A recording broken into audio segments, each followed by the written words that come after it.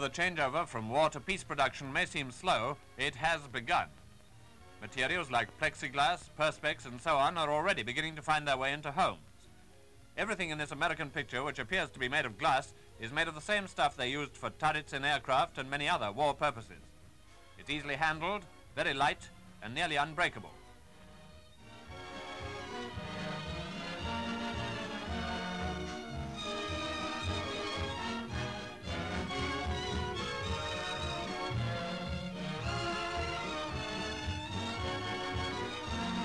Plastic hats are also being made now.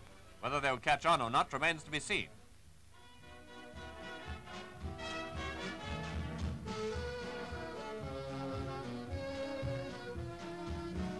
In Britain, too, the changeover is beginning.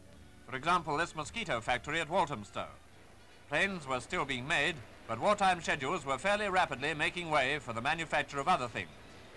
Mosquito-making machinery was on the way out. Jigs were going to the scrap heap. In fact, here, where furniture-making craftsmen took over the job of making one of the war's most successful aircraft, they're now building furniture again. Utility furniture, and as you see, they've got some nice labor-saving machinery to help with the work.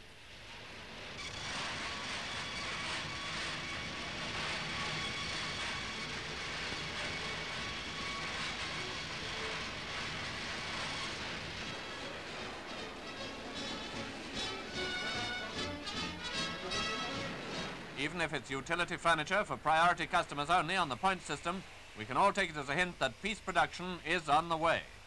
It seems pretty obvious we've all got to be very patient. The idea that peace and plenty would return together just wasn't true.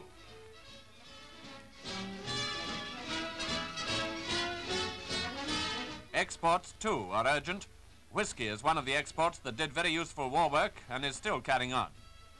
One thing, we may not get the whiskey here at home, but, well, we don't get the hangover either.